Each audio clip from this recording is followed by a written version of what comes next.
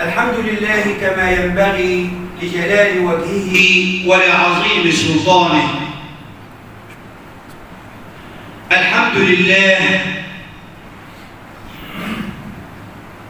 الملك القهار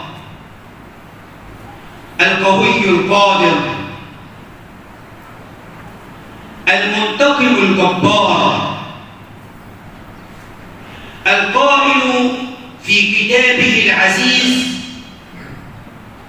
إن الله يأمر بالعدل والإحسان وإيتاء ذي القربى. إن الله يأمر بالعدل والإحسان وإيتاء ذي القربى. وينهى عن الفحشاء والمنكر والبغي. سبحانك سبحانك. يتغير الزمان. ولا تتغير. تتبدل الأحوال ولا تتبدل. الحكم حكمه. سبحانه. والأمر أمره. سبحانه. والتدبير تدبيره سبحانه وتعالى بيده كل شيء. وأشهد أن لا إله إلا الله. وحده لا شريك له. لما طغى النمرود وطغى في الأرض وقال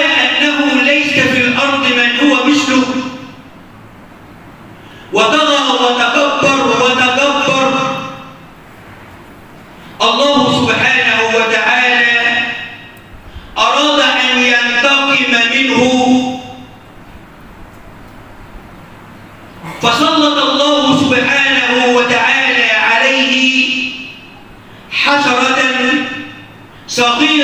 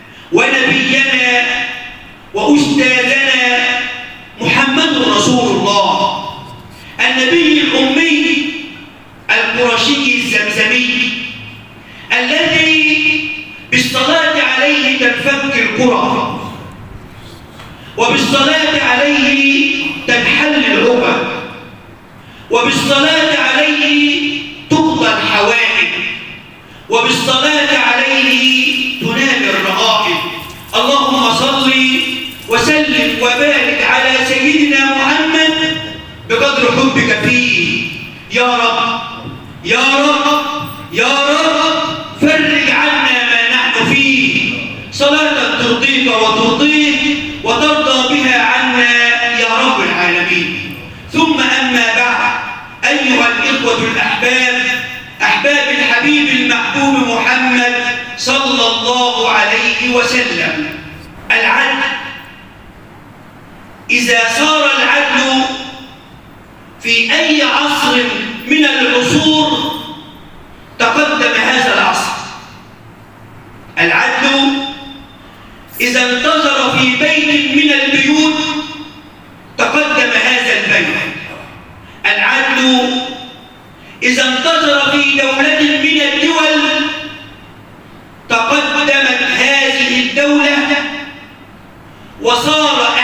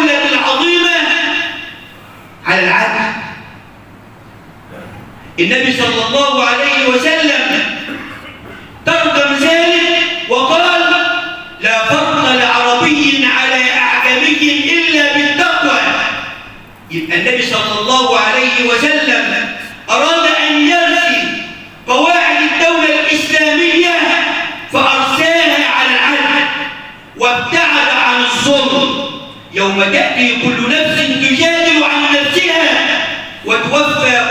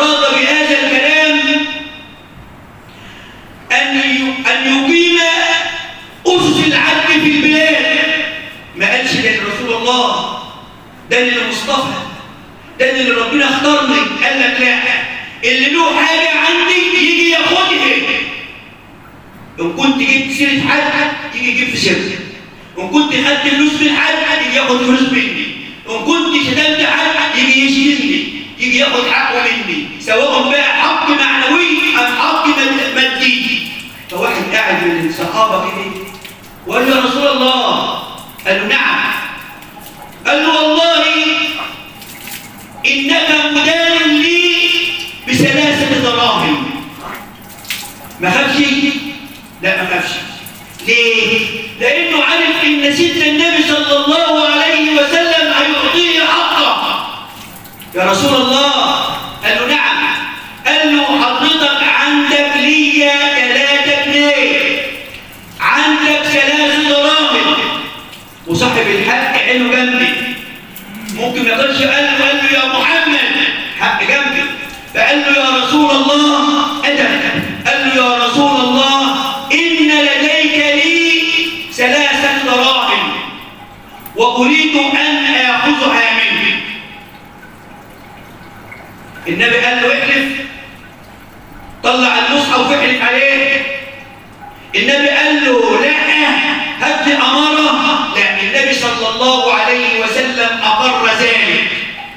وقال والله لا أستحلفه ولا أكذبه.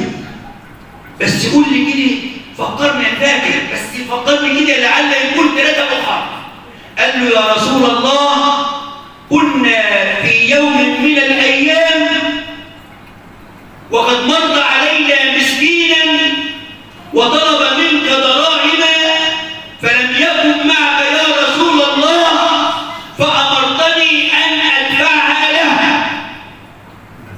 النبي صلى الله عليه وسلم ما فكرش وقام هد كده في دماغه وقال أنا عموما أنا هديهم لك بس أنا ما أعرفش الموضوع مين. يمكن لا. قال له يا عباس. قال له يا عباس. قال له نعم يا رسول الله. قال له اعطني إياه. سيدنا النبي صلى الله عليه وسلم هو رسول العدل هو رسول العدل الذي أراد أن يرسي دولة العدل في نفوس المجتمع صلى الله عليه وسلم لذلك المصطفى صلى الله عليه وسلم يأمرنا بالعدل وينهانا عن الظلم. الرجل الراجل اللي كان الوالي اللي راح للخليفة قال له يا خليفة قال له نعم. قال له حصن لي دولتي. أنا عاوزك تحصن الدولة بتاعتي. وليكن مثلا كان وزير أو كان محافظ في مكان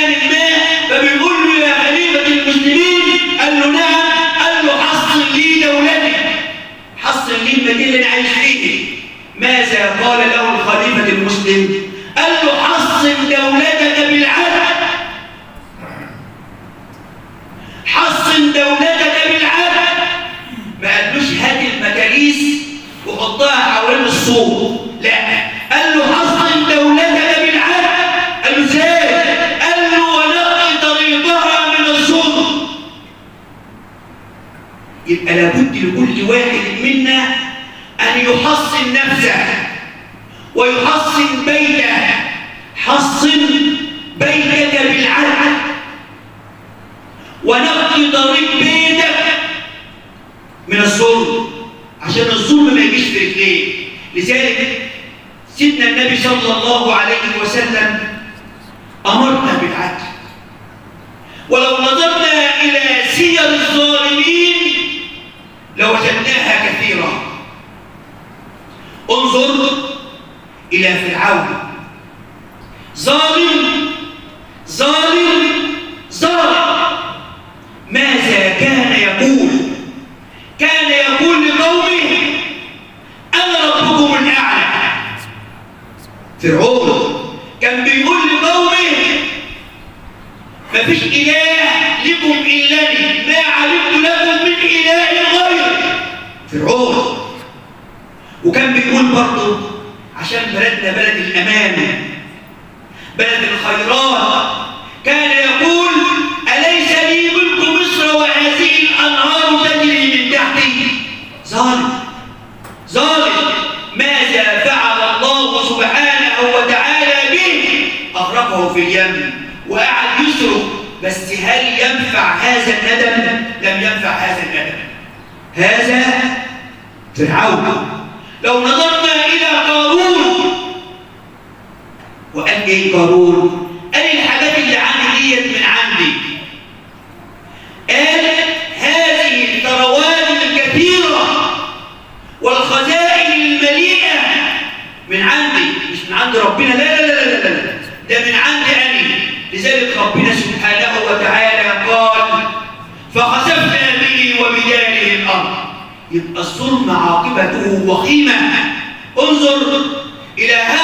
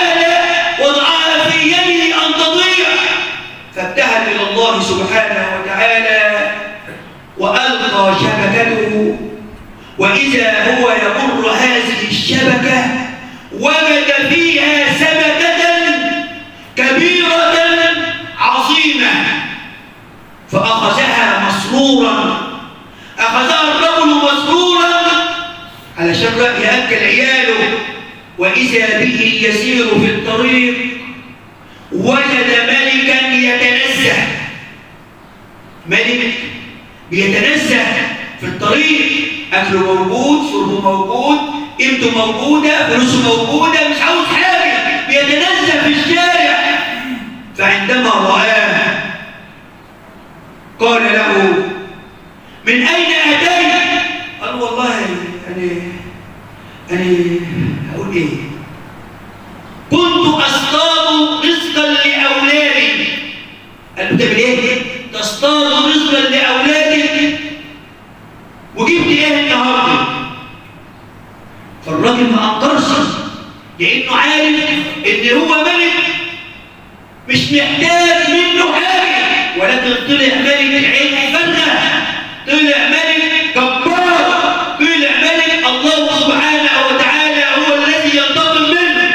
الدم وابن السمكة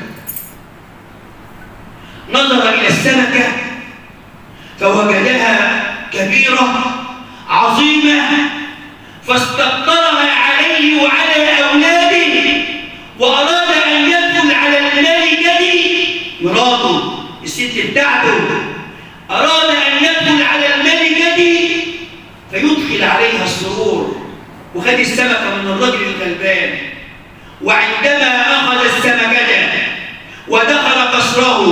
وعرضه على زوجته استدارت السمكة وعضت إصبعها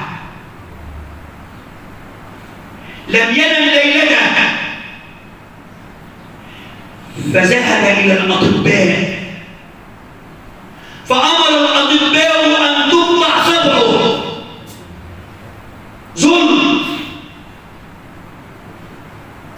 ولم يسترح ليلته فعرض نفسه على الأطباء. فأمر الأطباء أن تقطع يده. فقطعت يده. ولم يسترح في نومه ولم يسترح في ضميره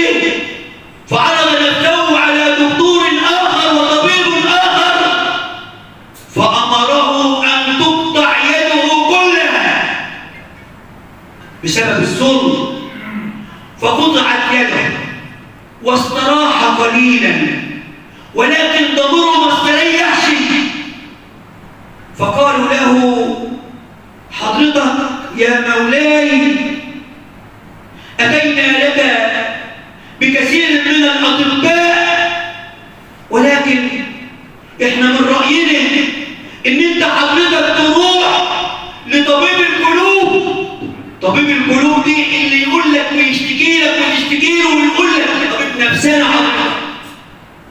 فذهب إلى الطبيب النفساني وأنت لما تكون زعلان من اهلك لابد أن يكون بينك وبين غير الحوار ما تكتمش في نفسك لأنك لو كتبت في نفسك هتتعب ويأثر ذلك على أسرة حضرتك ويأثر ذلك على بيتك. لازم تدور على صديق صدوق يستحملك في كلامك ويحفظ سرك ويتكلم فعرض الملك نفسه على طبيب من أطباء القلوب. فقال له احكي لي حضرتك؟ إيه اللي حصل؟ قام قايل له كنت ماشي في الطريق وجبت راجل معاه سمكة وخدتها منه عنوة ظلم قال له لا ده أنت لابد لك أن تذهب إلى وتبحث عن هذا الرجل وتستسمعه فالراجل زي ما الشيطان ضحك عليه وقال له امتنان الملك ادور على الراجل الغلبان واستسمعه ولكن أنا هعمل إيه؟ ما يمكن دي اخر حاجة في حياتي طب ما أروح ادور بدا هذا الملك يبحث عن هذا الرجل ان يسامحه فقابله بعد عناء فقال له يا هذا سامحني قال له أنا سامحتك يبقى الفقير الفقير بيسامح الغني والغني يطمع في حاجة الفقير ولو كل واحد فيه طمع في أي حاجة حواليه عمر ما عينه تمليه أبدا هيفضل كده في صراع دائم بينه وبين ضميره هيفضل كده عمرك ما تشبع أبدا اللي باصص لفوق دايما ده هو عمره ما يشبع أبدا فالراجل قال له طيب سامحني يا أخوي. قال له حاضر أنا سامحتك يا مولاي. بس أنا عاوز أقول لك إيه؟ المولى بيتكلم الراجل الملك بيتكلم. وقول له أنا عاوز أقول لك أنت قلت إيه؟ قلت إيه عشان يحصل لي كذا وكذا وكذا؟ قال والله ما قلت إلا كلمة واحدة. قال له ماذا قلت؟ قال قلت يا رب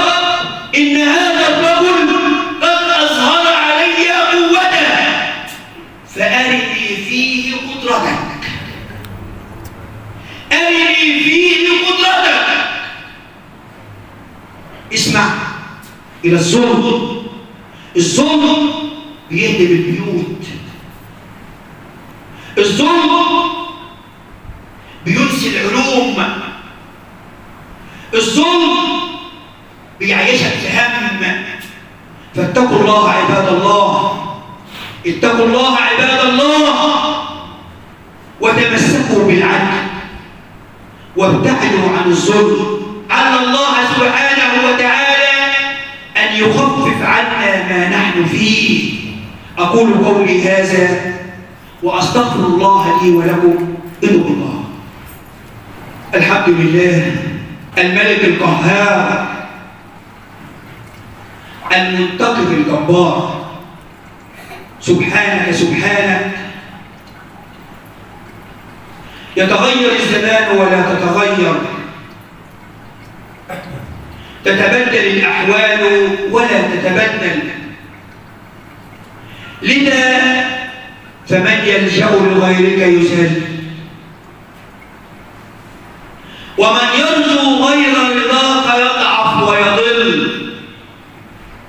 توكل على الرحمن في الأمر كله. ولا ترغبن بالعجز يوما عن الطلب. ألم تر أن الله قال لمريم وهزي إليك الجزع تساقط الرطب. ولو شاء أن تجنيه من غير هزها جنته ولكن كل شيء له سبب. وأصلي وأسلم على الحبيب المحبوب محمد صلى الله عليه وسلم الذي علم المتعلمين والذي بعث الأمل في قلوب البائسين والذي محى دولة الظلم ونشر العدل على المسلمين. اللهم صل وسلم وبارك على سيدنا محمد وعلى آله وصحبه وسلم. ثم أما بعد. أيها الإخوة الأحباب أحباب الحبيب المحبوب محمد صلى الله عليه وسلم. لو نظرنا إلى العالم من حولنا لوجدنا أن هذا العالم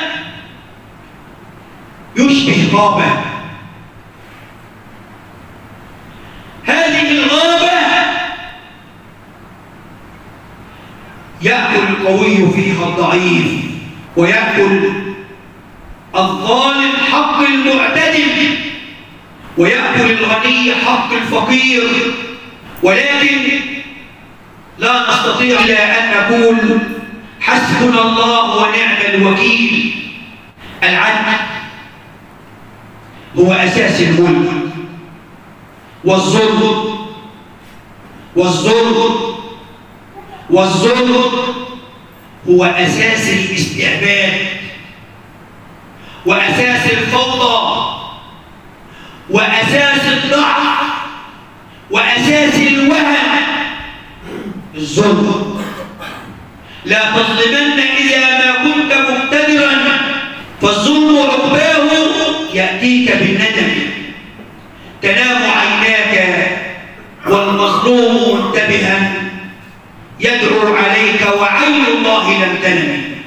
اوعى تظلم حد. اوعى تظلم حد. الحق تبارك وتعالى قال ويوم يعض الظالم على يديه. انظر إلى اللفظ كده. ويوم يعض الظالم على يديه. من شدة الظلم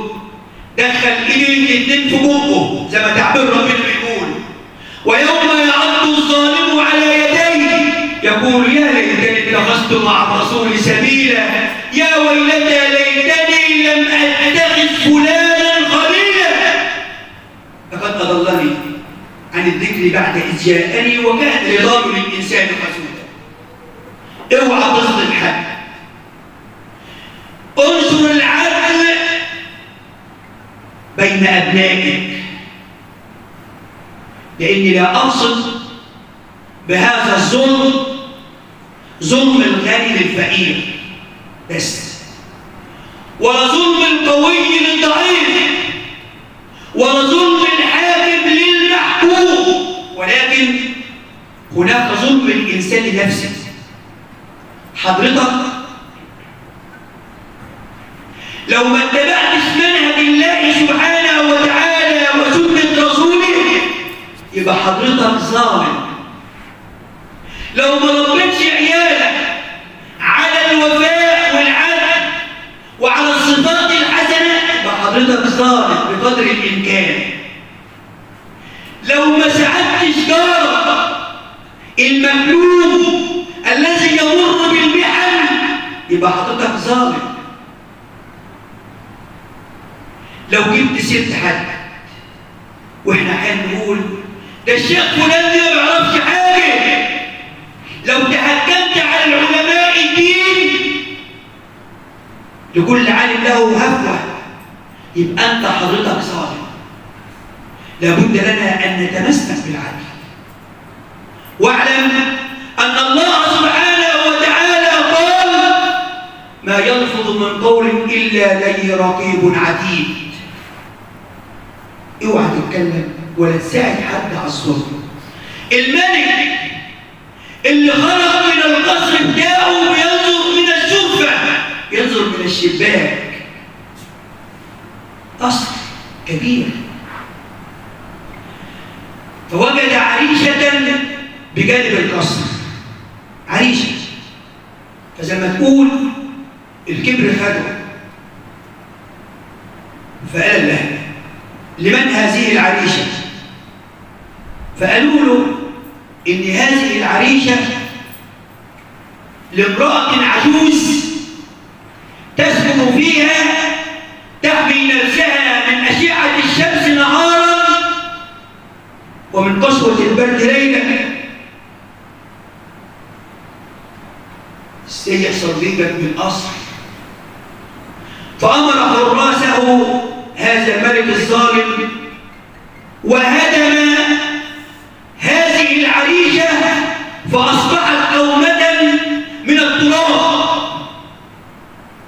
فلما الست العجوز رجعت آخر النهار وكانت بتبحث عن رزقها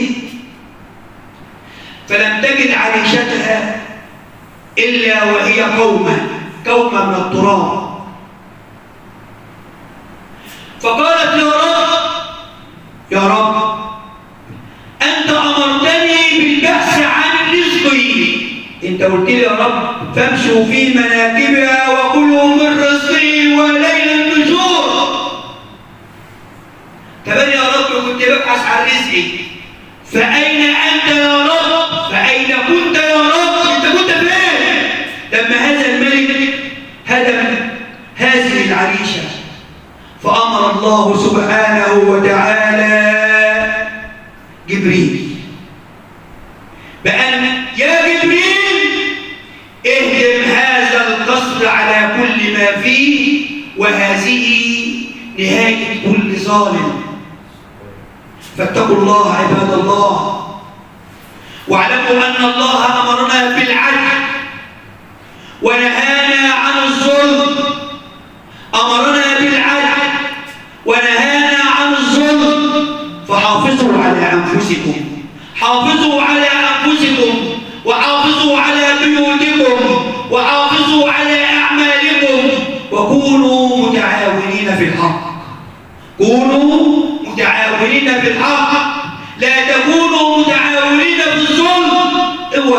يجي يكون حضرتك زعلان من الست بتاعتك أو زعلان من ابنك اللي متجوز بعيد عنك أو زعلان من جارك أو زعلان من مديرك ويقول لك أنت سكت له ليه؟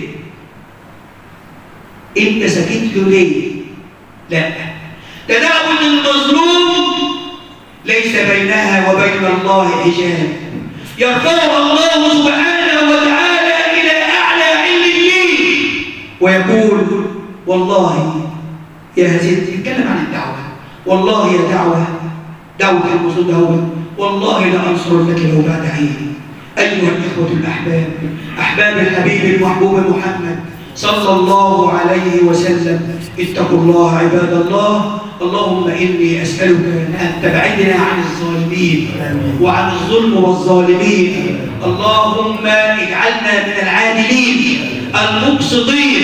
اللهم انصر الإسلام وأعز المسلمين وأهل الشرك والمشركين. رب لنا أبناءنا اللهم رب لنا أبناءنا اللهم اجعلنا إخوانا متحابين على سرر متقابلين في جنات النعيم. اللهم أدعوك أن تحفظ مصر وأهلها. اللهم احفظ مصر وأهلها. انصر المسلمين المظلومين في كل مكان. اللهم احفظ مصر وأهلها وابعد عنها كل سوء واجعل أرضها أرض خير وسلام. أقول قولي هذا وأستغفر الله لي ولكم. فقوموا إلى صلاتكم يرحمكم.